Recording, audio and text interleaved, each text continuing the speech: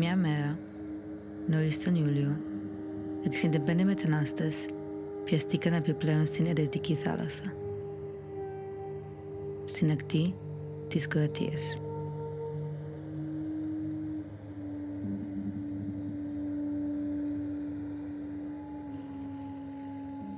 Στριμμένοι πάνω σε μια βάρκα, χωρίς βενζίνη, τους ενδιέφερε απλά να βρεθούν σε μια χώρα της Ευρωπαϊκής Ένωσης.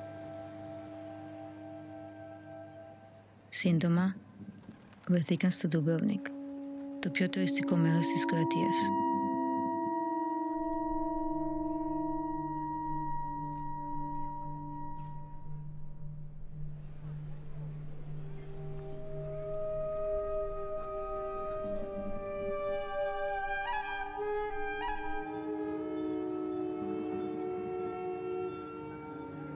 Κάποιες μέρες αργότερα, κοντά, στα νερά της Μεσόγειου, περίπου 50 άνθρωποι πεθαίνουν προσπάθοντας να καταφέρουν κάτι ανάλογο, να φτάσουν στην Ιταλία.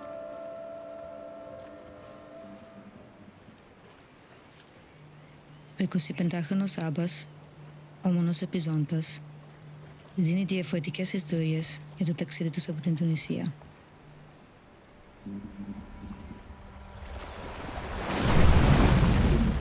Πιο νότια, στα τέλη του Αυγούστου, μια βάρκα ταξιδεύει τέσσερις άντρες, μια γυναίκα και δύο παιδιά από την Σύρια στην βόρεια ακτή της Κύπρου.